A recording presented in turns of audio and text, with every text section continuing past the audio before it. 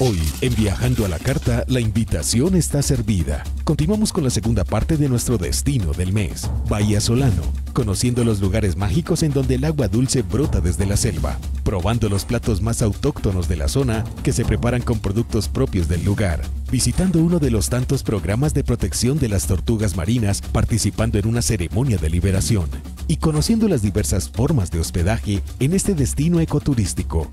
Póngase cómodo, aquí comienza Viajando a la Carta.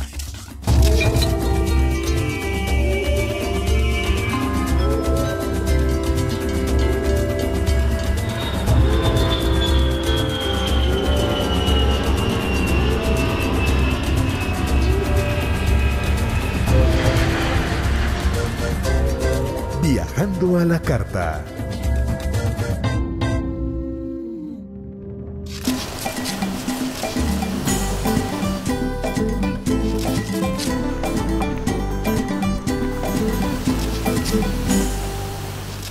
Combinación de la selva y el mar es uno de los principales atractivos de este destino. En Vallasolano el agua limpia y pura brota de las entrañas de la selva, creando un sinnúmero de cascadas, charcos y nacimientos de agua que desembocan en el océano.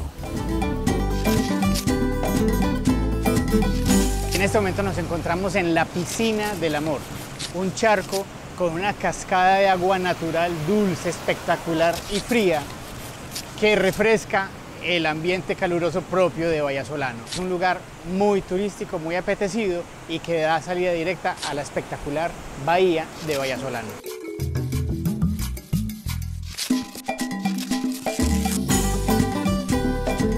Emprendemos una pequeña travesía hacia una cascada muy cerca al casco urbano, denominada la Cascada del Aeropuerto, por su cercanía al mismo. Después de una caminata de unos 15 minutos, llegamos a este hermoso sitio en el que sus aguas frías y cristalinas nos refrescan después de esta caminata.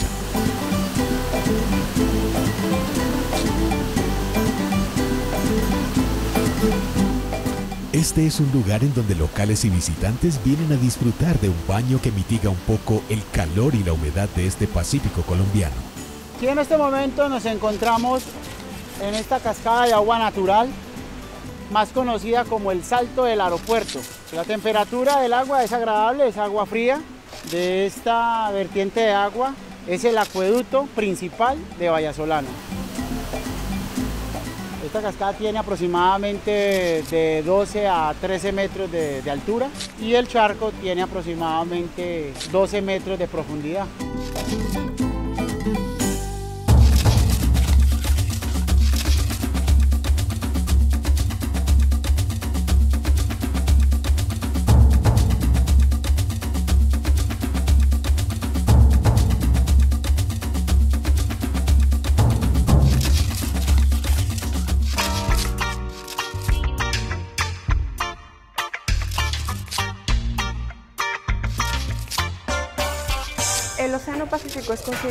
La despensa mundial en cuanto al pescado y productos marinos se refiere. Vallasolano, por su cercanía al Pacífico colombiano, no podría tener mejor una gastronomía diferente a todo lo que tiene que ver con la comida del mar.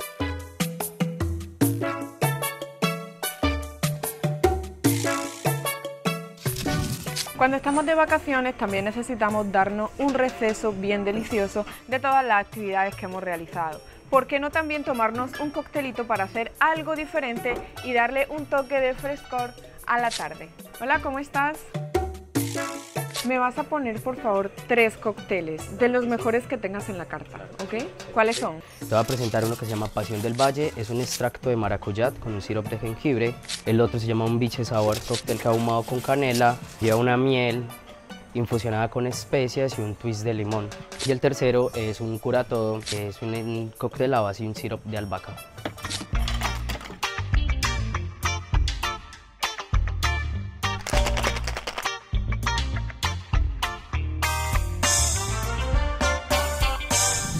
Otra de las cosas deliciosas que puedes probar aquí en el valle es estos helados con torta de chocolate y coco. Lo hace la tía Pilar.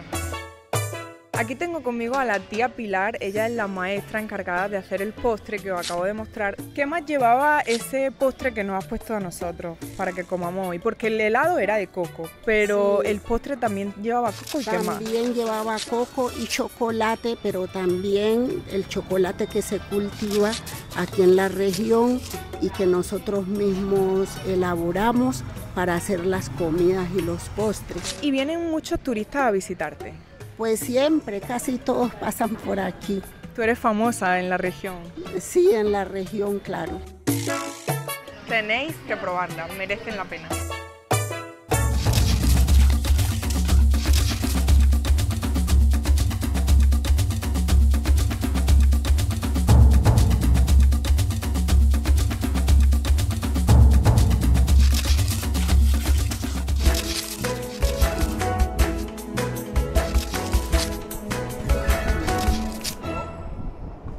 Bueno, Mauro nos está acompañando aquí tomándose una deliciosa pipa, algo que ustedes pueden encontrar también aquí en el Pacífico colombiano. ¿Cuál es la diferencia entre la pipa y el coco? Que la pipa es biche y la pipa trae más agüita y es más carnosa.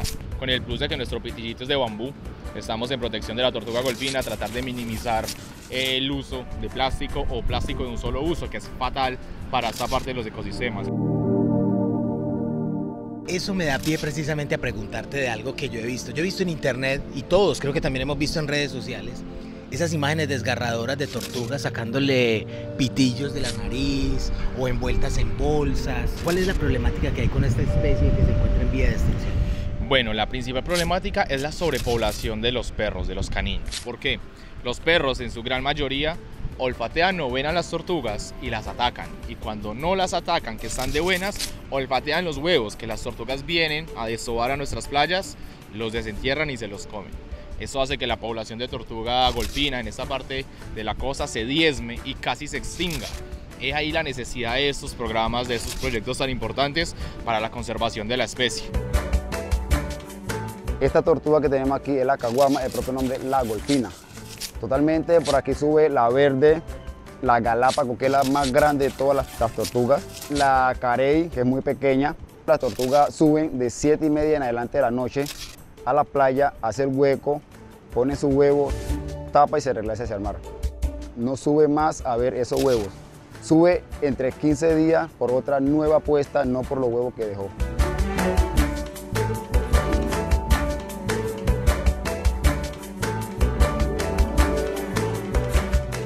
La importancia de lavarnos las manos? Todo el tiempo estamos en constante contacto con diferentes superficies.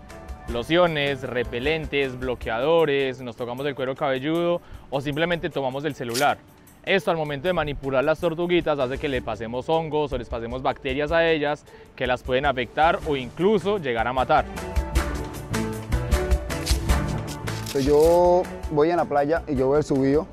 Entonces yo, ahí están los huevos, yo los saco, lo echo en una chuspa, una bolsa. Si hay lluvia, tengo que cargar una capa, una sombrilla, taparlo en el momento para irlo echando a la bolsa para que no les caiga agua. Porque ella suelta una baba cuando está poniéndolo y al mojarse se le lava la baba entonces se dañan los huevos.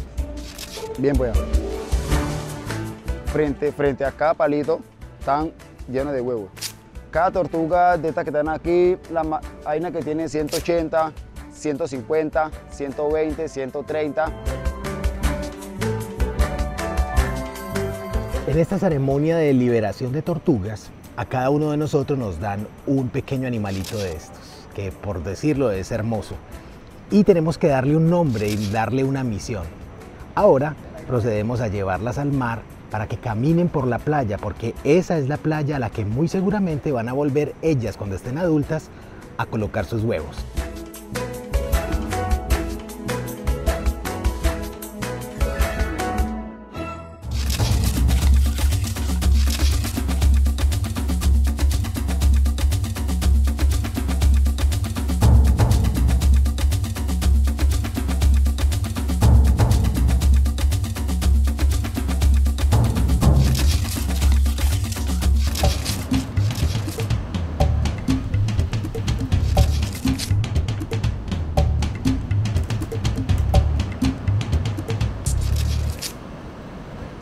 Mauricio, cuéntanos por qué montar un hotel en este punto. Bueno, ¿por qué no? Sería la pregunta. ¿Por qué no montarlo aquí? Estamos en medio del Pacífico colombiano, estamos en medio del Chocó, por favor, estamos en medio de una de las costas más bonitas del país. La respuesta más sencilla es porque quiero que todo el mundo conozca y escuche Chocó. Cuéntanos, Tortuga Bay, qué comodidades tiene, por qué se caracterizan ustedes. Bueno, en primera instancia realizamos un turismo comunitario. Nosotros como hotel tenemos hospedaje, alimentación, pero yo quiero que todos los otros eslabones de la cadena turística tengan su aporte. Es decir, forman una red de empresarios que se colaboran entre sí. Correcto. Digamos, la liberación de tortugas la hacemos con nuestro vecino, que él también participó en una fundación. Trabajamos con los mototaxis, que son muchos vecinos, los operarios de tours también son muchos vecinos. La idea es que cada uno de nosotros tenga como una pequeña ganancia.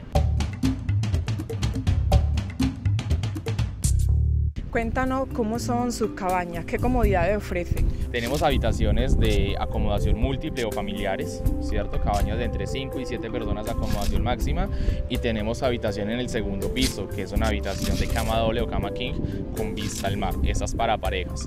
Los nombres de las habitaciones, por ejemplo, puedes ver en el segundo piso, dice Laúd, Caguama, Laúd, Caguama, Carey, que son tortugas locales.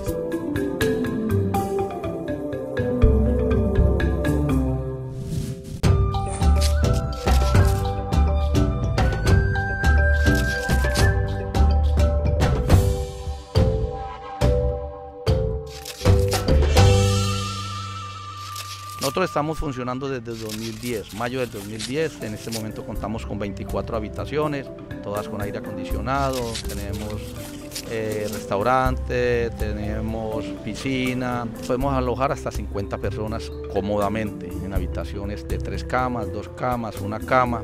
La gran mayoría de las personas que vienen a, nuestro hotel son pescadores deportivos. Nos hemos enfocado en ese nicho, en ese nicho de estar pendientes de ellos, de que les tengan una muy buena alimentación, de que las niñas que están aquí atendiéndolos pues eh, extiende la mejor actitud para que ellos que llegan bien cansados del mar, que tengan el agüita caliente. Y también tenemos un pequeño almacén donde ellos compran lo que le hace falta o lo que se le pierde en, una faena de pesca, que normalmente se le puede quebrar una caña, se le puede perder un, señuelo, se le puede ir un gancho, cantidad de cosas que uno las tiene aquí para que ellos no tengan que perder una faena después de venir. Hay gente que viene de Argentina, de Alemania, de Italia, viene muy lejos y puede perder una faena por no tener el equipo completo.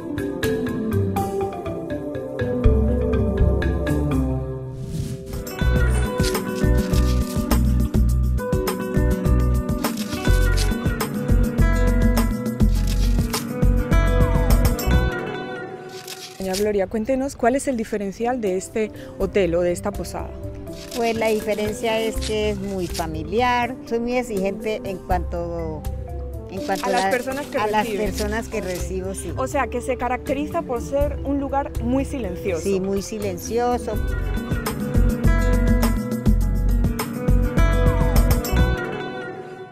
Cuéntanos un poquito sobre la distribución del lugar.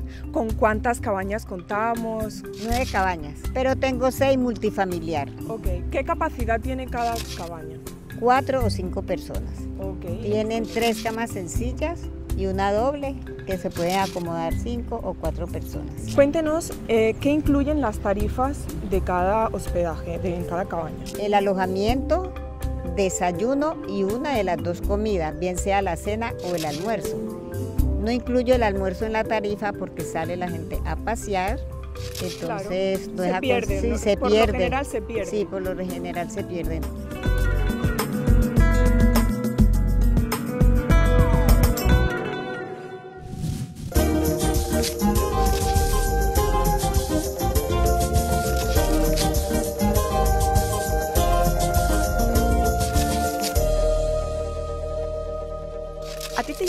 Coco, pero ¿cómo es tu nombre real? Ronomu Coco. Ronomu. Coco. No, creo que no lo estoy diciendo bien. ¿Cómo es? Renault Mucoco. Renault Mucoco. Bueno, alias Coco.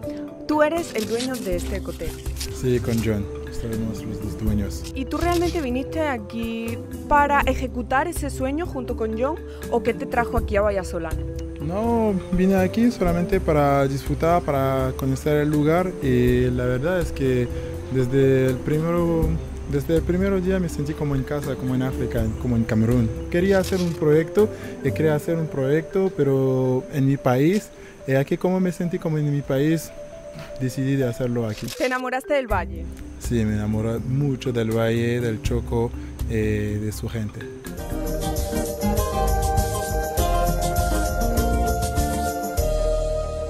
Tratamos de hacer un proyecto en madera, que la madera viene de la selva de acá, con la gente de acá que nos ayuda a construir todo este proyecto. Yo hice casi todo a la mano. ¿Qué actividades ofrecen aquí para conseguir ese propósito de disfrutar de el viaje y también respetar la naturaleza? Por ejemplo, nosotros hacemos tours, eh, tours de, en, la, en, el mar. Eh, también ofrecemos tours para, para limpiar la, la, la playa. Entonces, eh, digamos que vamos a tener una gente que va a ser voluntaria, eh, que va a ayudarnos a limpiar las playas porque a, veces a nosotros tenemos muchas basura en la playa que se trae con el mar y también con la gente de afuera que se olvida a veces que la naturaleza no ofrece mucho y que tenemos que cuidar a la naturaleza. Tratamos de concientizar al turista sobre hacerse responsable de su basura y sobre todo consciente de todo lo que consumen eh, y que en lo posible traten de minimizar ese, ese consumo para, para aportar al planeta.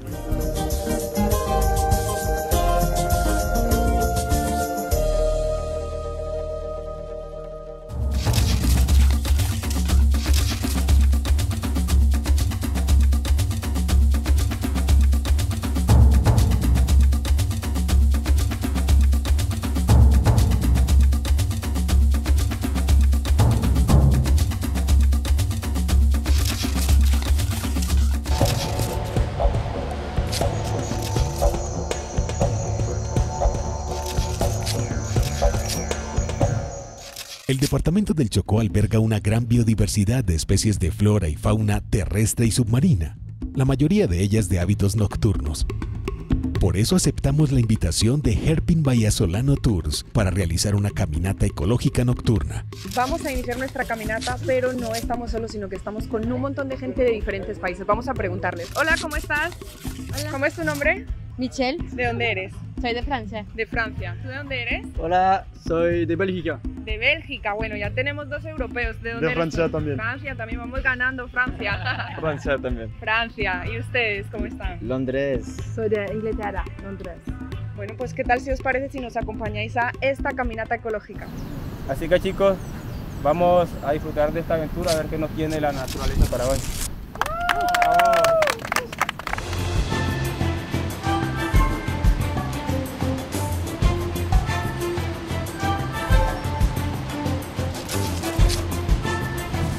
Es indispensable contar con un guía certificado que conozca el territorio como Miner, quien además nos sorprende con sus sentidos desarrollados, mostrándonos la gran cantidad de especies que logra escuchar y ver en medio de la espesura de la selva y la gran cantidad de sonidos únicos de la misma.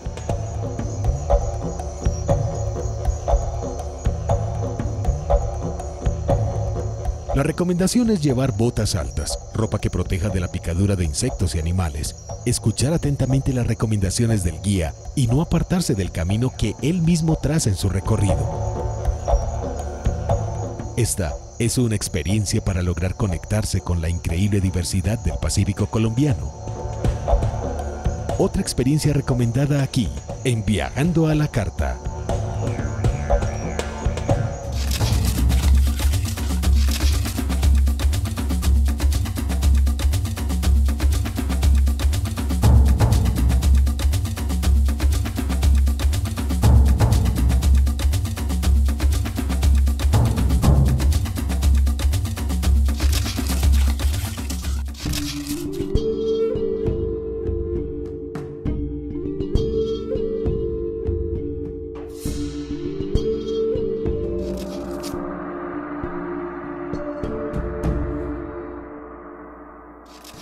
A la Carta nosotros queremos hacer una invitación muy especial, ya que estamos en este entorno tan natural, tan mágico. Es muy triste ver cómo las playas están llenas de plástico o cada vez el mar arroja más basura. Siempre que usted vaya a visitar un destino, piense en la máxima que los Boy Scouts nos enseñaron. trate de dejar el lugar más limpio o mejor de como lo encontró. Las botellas de plástico, los papeles, las bolsas, generalmente si no le dan una buena disposición terminan de dónde? En el mar. Por eso, cuando venga a un lugar de estos, piense muy bien cuál va a ser su aporte para que eso que estamos viendo en las playas, en nuestras playas hoy, en muchos destinos del mundo, no sea algo más, que se llenen las playas de basura. En las ciudades tenemos máquinas que hacen la distribución y el procesamiento del plástico y del vidrio y de muchos otros materiales que se pueden reciclar, pero aquí en las regiones y en las localidades no. Entonces pensemos muy bien cuando vamos a un destino ¿Cómo va a ser mi aporte para que no terminemos como turistas también aportando a esa cantidad de basura que queda en las playas? Vallasolano se lleva mi respeto, mi admiración, mi cariño. Seguro que voy a volver porque es un lugar que me encantó. Lo único que sí me deja, he de confesar, son unos sentimientos encontrados porque tengo esa felicidad de haber conocido este nuevo lugar para mí, en este rincón del mundo tan maravilloso en Colombia pero a su vez me ha impactado demasiado ver lo que los seres humanos estamos haciendo con nuestro planeta Tierra. Ya sabíamos que nos estamos portando mal, que no estamos respetando el medio ambiente y que no sabemos reciclar, pero realmente ver en primera persona estas playas me ha roto el corazón, eso sí he de decirlo. Me duele mucho haber conocido el microplástico, esas pequeñas partículas de ese material que se deshacen en el mar fruto de tanto navegar y surcar los mares, ¿no?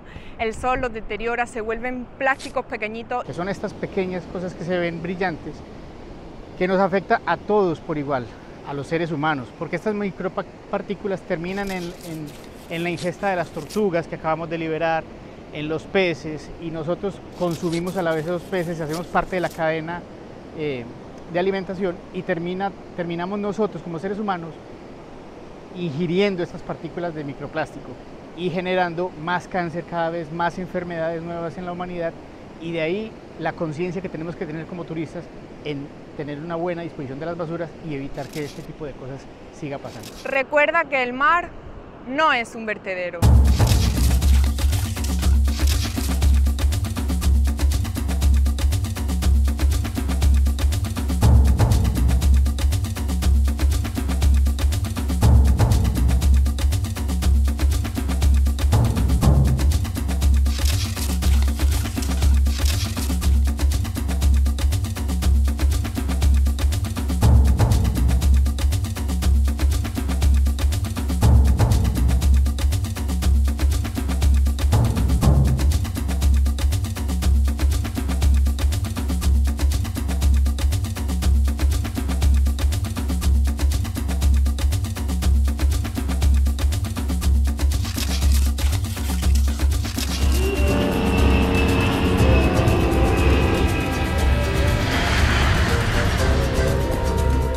Viajando a la carta.